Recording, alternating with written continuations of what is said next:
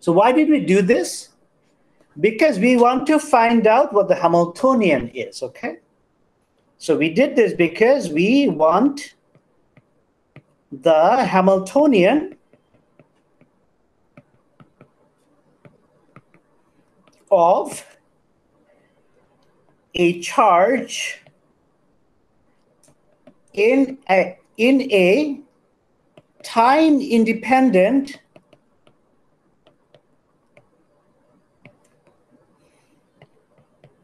electromagnetic field. Why do we want the Hamiltonian? Because the Hamiltonian gives us the Schrodinger equation. Okay, so this is the motivation for writing the equation of motion like this because what is an equation of motion? An equation of motion is nothing but an Euler-Lagrange equation for some Lagrangian for the system.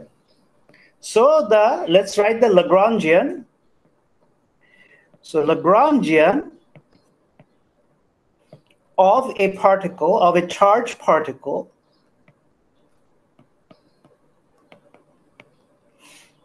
in an electromagnetic field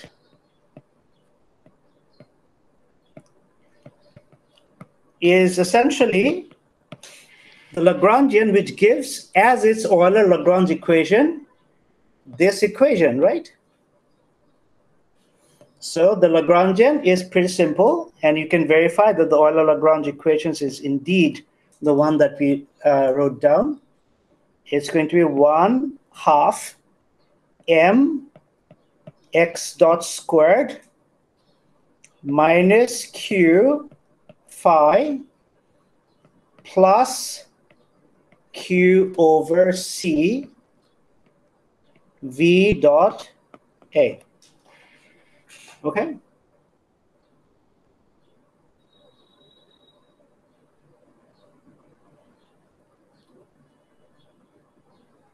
So this is the Lagrangian that yields the Euler-Lagrange equation that we just saw.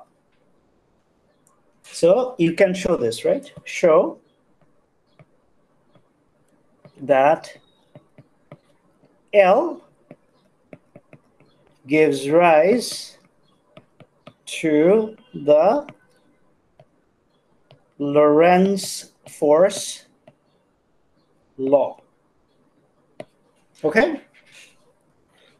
This is just a very, you know, you should be able uh, to do this. Sir, I have a question regarding this. Yes. Okay, so let's say we we have no magnetic field, so B is zero. So which essentially means that the curl of A would equal to be equal to zero, right? So yeah. so we can have a function A. Uh, yeah, I mean, can't we have a non-zero A in in the case where magnetic field is zero. Um, the whole point of this lecture is to get to that point. Oh, okay, sorry. The whole idea behind the Bohm era Aharonov Bohm effect that we are going to get to either today or the next day is to exactly show that that is the case.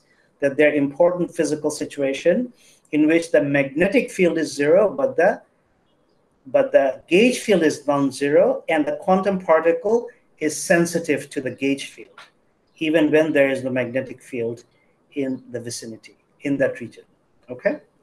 That's a very, very important question. That is exactly what we want to understand or, or demonstrate. And there is, you know, Aharonov is very old, but, you know, he should have gotten the Nobel Prize for that.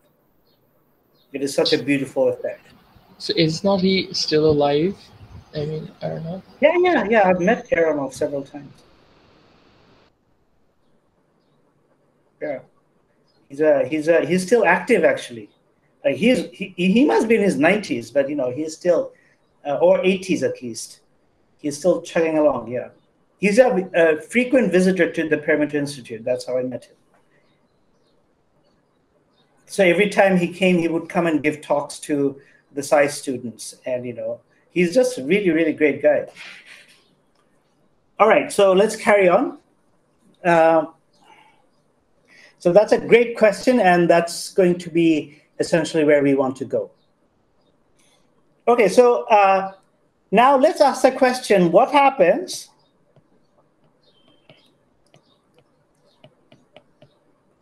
to L under a gauge transformation?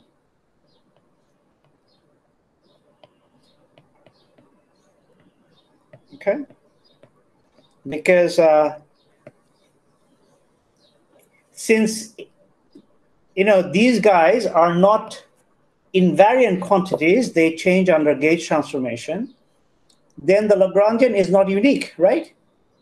If the Lagrangian is not unique, then um, my Lorentz force law is not unique, and therefore we are in trouble because you know uh, what what happens. Now you can show very easily that under a gauge transformation,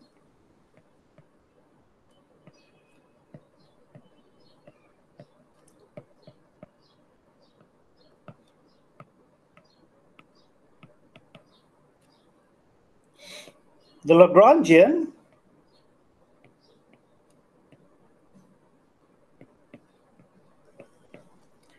changes by a total time derivative. Okay? But see that the action is nothing but the uh, the time integral of the Lagrangian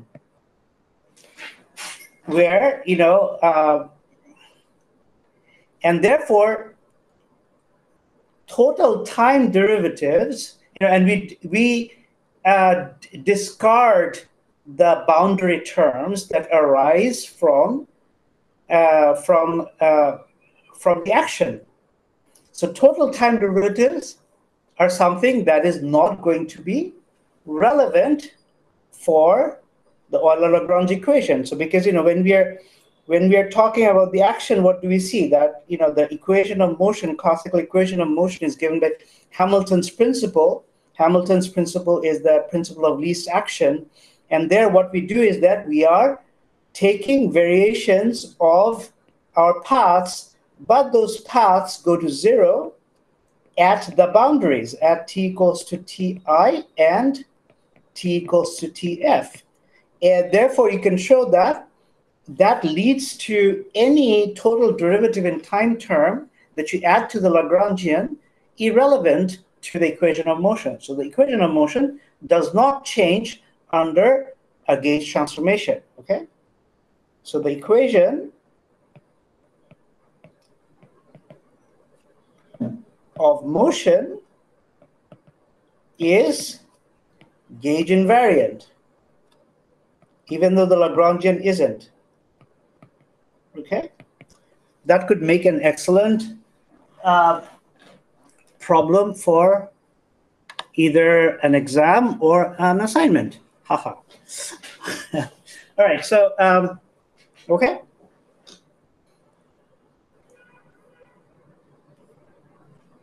So now that we have the Lagrangian, the Hamiltonian is just one step away. So for the Hamiltonian, we need to first find the momentum pi, and the momentum is the derivative of the Lagrangian with respect to x dot.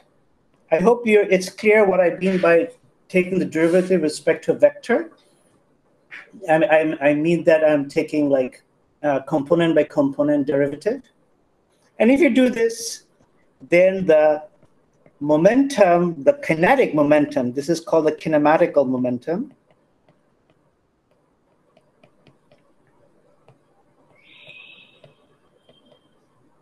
is P plus Q by CA.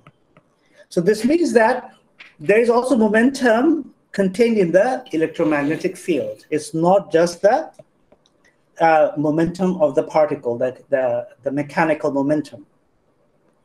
So then we can, from there, we can say what the Hamiltonian is. Well, the Hamiltonian is nothing but P dot X dot minus L. This is the famous Legendre transformation, which you uh, all learned about in StatMech. And if you do it one line of algebra, it gives you 1 over 2m. Instead of the momentum, you have p minus q over ca, the kinematical momentum. And then the potential is Q phi. Okay, so this is my Hamiltonian.